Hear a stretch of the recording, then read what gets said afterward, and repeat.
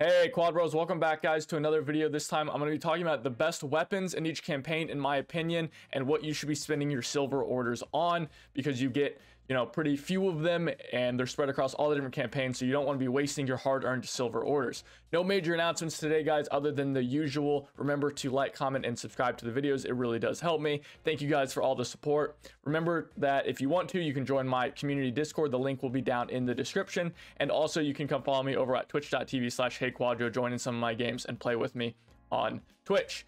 Without further ado, guys, let's jump into each of the campaigns, starting with the Americans.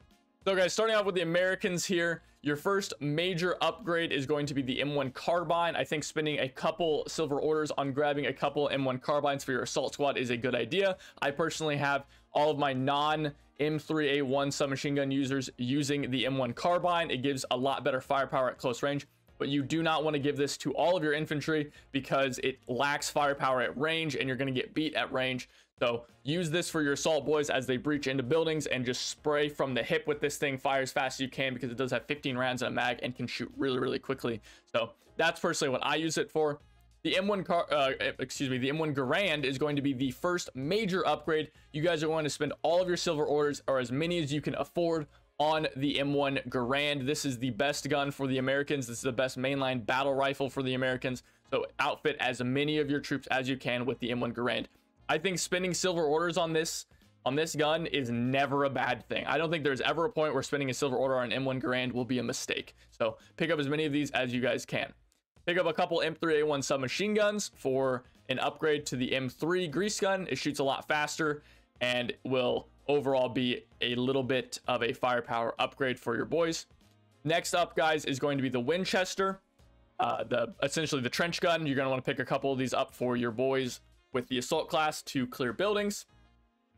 And then going through this, the next thing is going to be the Jumbo Sherman, picking up some spare parts and using them to upgrade your Jumbo Sherman.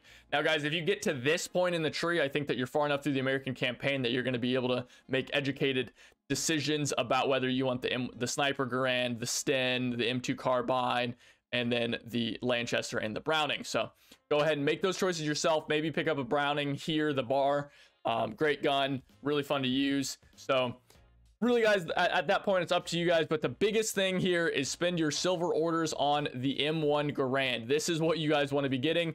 This is probably where a lot of people are getting close to. If you spend your silver orders on the m1 garand i promise you you are not going to be disappointed because this gun one shots at range it'll at least down at range and it does tons and tons of damage. It's semi-automatic. It's a fantastic fantastic gun if you guys didn't already know it. And then of course you get that beautiful ping, which is fantastic. So let's move on to the Normandy Axis from here, guys.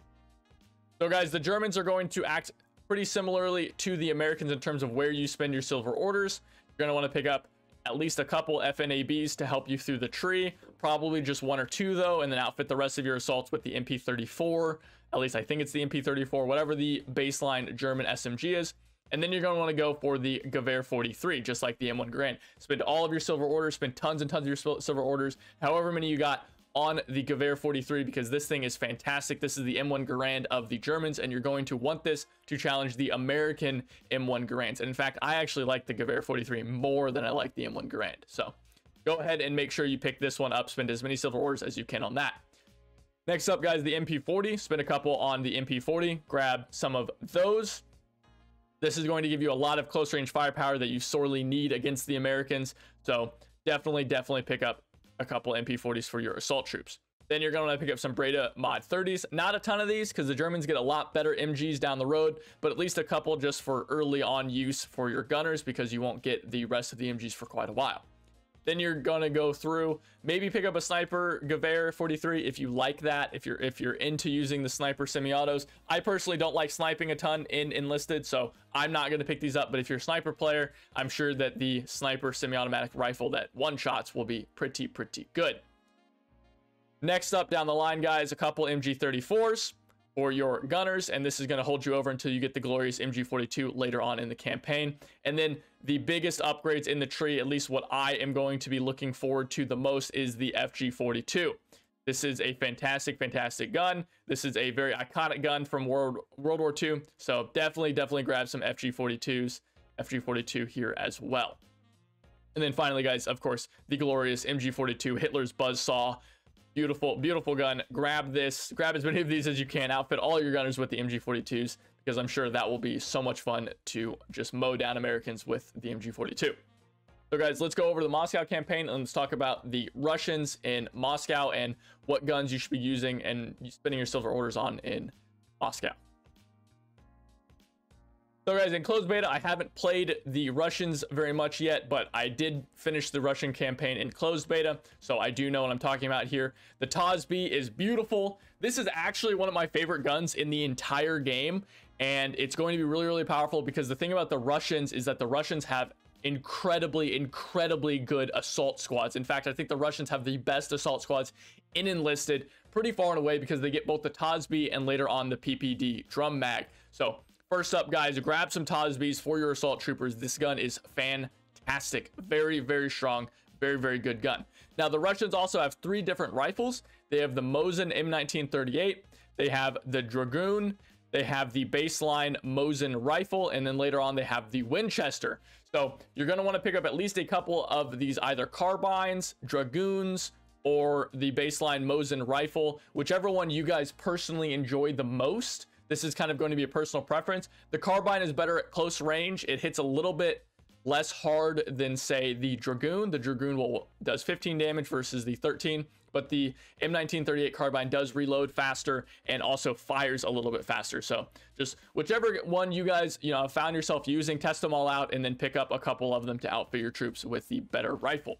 And that'll hold you over until eventually you guys are going to pick up a couple PTRDs and Madsens. Both of these are useful weapons to pick up for your gunner and AT squads respectively. Definitely for the PTRD because I don't think there are any other bomber weapons.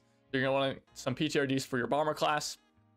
And then guys, at level 11 here, the best gun, in my opinion, in the entire game that I have used so far is the PPD 3438. This gun is busted. Unless they have somehow nerfed this gun and I missed those patch notes, which I don't think I did, this gun is crazy. You need to pick up this gun. You should have an entire assault squad with as many assaults, with as many of these guns as possible, because you can just hold the trigger and clear entire trenches, clear entire buildings. This gun is busted. I, I honestly cannot overstate how good this gun is. It, it is absolutely crazy. Get as many of these as you can, upgrade them, get high level ones because it will carry you through games. I used to get 150 plus kill games easily just by using these guns because of how unbelievably busted they are. Next up, guys, you're going to want to pick up the Winchester. Some players don't like the Winchester. I have no idea why. It hits hard, it reloads fast, it fires fast, uh, it doesn't fall off at range. It's a fantastic gun. Maybe they just don't like the iron sights. Uh, the iron sights are kind of finicky, but honestly, I think you should be using the Winchester. This is the best rifle in my opinion until you get the semi-autos later on, and those are going to be a lot harder to pick up, and they're going to cost a lot more silver orders. So honestly, guys, pick up the Winchester. Very, very good gun in my opinion. Now, the Sniper SVT in closed beta, this gun did not one shot. It took two shots to kill. So in my opinion, this is not a very good gun to use. I recommend just sticking with the bolt action rifles, especially because this is going to cost a lot of silver orders. So stick with your bolt action rifles, in my opinion. Grenade launcher, again, guys, not a huge fan. Flamethrowers, not a huge fan until they get buffed. DP27, fantastic gun. Highly recommend you guys pick up a couple of these for your gunner squads. And then the SVT38, guys, you're going to want to pick up as many of these as possible. I honestly think these are going to cost a lot of silver orders, so maybe just get one squad of like elite soldiers. You know, your shock troops run around um, with the SVT 38. I don't think you guys are going to be able to afford it. And I don't think it's going to be worth it to spend a ton and ton of silver orders on SVT 38. So again, just maybe one elite squad with, with SVTs that can put down a lot of firepower and then you can just use them. Now, again, the sniper SVT, I don't know if this gun one shots. If it does, fantastic. It needs to have at least 10 power to be able to one shot. If it does, great. If it doesn't, don't use it. Not worth it. And then, of course, guys, the PPD-40 at the very end, pick up a couple of these because this is just a direct upgrade. It reloads a lot faster than the basic MPD, or excuse me, PPD-34. So, guys, let's finish it off by talking about the Germans for the Moscow campaign. So, guys, just like the Russians, I did finish the Axis campaign for the um, for the Battle of Moscow. So I do know quite a bit about this. The MP38 is a good gun, but just like in Normandy, you're going to want the MP40. So just pick up a couple of these because you will need firepower versus the Russians at close range. I personally did not like the, the pre-war Kar 98. Um, I prefer just the baseline Kar 98. The VZ is okay, uh, but personally speaking, I just always went with the basic Kar 98 as my mainline rifle for as many troops as I can, and has the added benefit of just costing one silver order. So I recommend you guys just go with that. Now, going down the line, guys, you're going to want some PZBs, and then you're going to want the MG13. This gun is monstrous. The MG13 is fantastic. I love this gun. It is so good. It is so dominant. I really recommend you guys pick up a lot of these for your gunners. Just pick up a couple. You probably aren't going to have squads full of gunners, but just like Normandy, the German MG13 and the German gunner squads are fantastic. So definitely, definitely use some MG13. And then again, just like Normandy, the MP40, grab it, use it. You need, I promise you guys, you need firepower at close range versus the allies in both campaigns. So you're gonna need the MP40s. Do not skip out on this because the second you walk into a room with a Russian, with a drum mag PPD, you're gonna wish you had this gun. I promise you guys. And then we're gonna, uh, the ZB26, I personally like the MG13 more but the ZB is pretty good. Maybe you just use the basic one that you guys get, and if you like using it, pick up some more pick up the pre-awarded Kar 98 with uh, scope mount. It's fine. I think it fires faster than the normal Kar 98 scope, but honestly, guys, I think just sticking with the basic one, just like before. Save your silver orders. Don't spend them on stuff because late game, the silver orders are going to cost a lot more. The MG34, I think you guys should pick this up over the MG13. Probably a lot better. Pick up a couple of these for your gunners. And then just like the Russians, an elite squad of, you know, stormtroopers or whatever with Gewehr 41s is going to be a good idea. These are going to cost too much to bother you know, filling out an entire army with, but you're going to be able to do an elite squad with Gewehr 41s is going to be a great idea. You're going to get another uh, anti-tank rifle towards the end. I haven't actually used this one, and I personally don't like the anti-tank rifle, so I, I think you guys should probably skip out on that one. And then finally, the MP35 um, is probably pretty good. But again, guys, late game, this late in the game, you're going to know what you need you're gonna you're gonna know if you like the MP40 or not, or if you feel like you want an upgrade to the MP40 based on how the Russians are, how you know powerful the Russian PPD40 or whatever is. So you guys are gonna know if you want to pick up an MP35. Make that choice on your own. But again, Gewehr, MP40 are the big ones. You need to get that MP40, guys. You need that firepower close range. Trust me, the Russians will destroy you with that PPD drum mag. So guys, that is all the different factions. I'll try to update this whenever Berlin and Tunisia come out. But for now, that is all there is. Now, I don't want to seem like this is the only way to play the game because as you guys probably have realized, I have a huge bias towards close range combat in this game. I really prefer being up close, using submachine guns, semi-automatic weapons, and I realize that some people prefer using sniper rifles, bolt actions, you know, being engineers, stuff like that. And that is a perfectly valid way of playing the game. That's totally fine. So if that's how you play the game, I really recommend that you guys use the weapons that you're most, most comfortable with and the weapons that you do the best with because those are what are important. Because like I said in my American overview, I really think the M1 Garand is the best gun in the game.